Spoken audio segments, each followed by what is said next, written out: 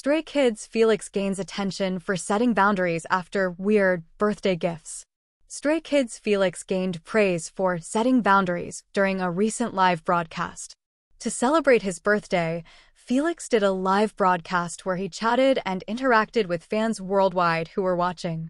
During the broadcast, because Felix is sometimes linked to being a cat, the staff provided different items related to the animal, like cat ears and paws. Fans shared praise for Felix as the idol seemingly shared his reactions to having to wear certain items, being honest as he put the items on. Felix was then given something with a bow on it, and the idol seemed shocked after realizing that it was a choker. After contemplating, he said, Am I really going to do this? No. As he read comments about whether he should wear it, the idol seemed uncomfortable with wearing it around his neck. He then showcased his personal boundaries as he pointed out the ears and paws, adding, I think this is enough, okay? He then got given a tail and asked whether he should put it on, before trying it and saying, no, this is weird.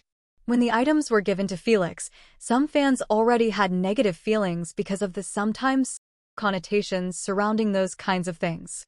Netizens then praised Felix for setting boundaries and sharing that he didn't want to wear the items when it isn't uncommon for idols to have to wear things that they feel uncomfortable in.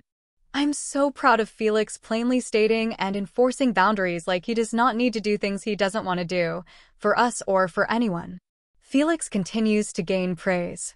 Felix saying he does not want to do this is so real. I hope he gets to do the same during fan calls when they make him meow or act like an animal, and he's clearly uncomfortable.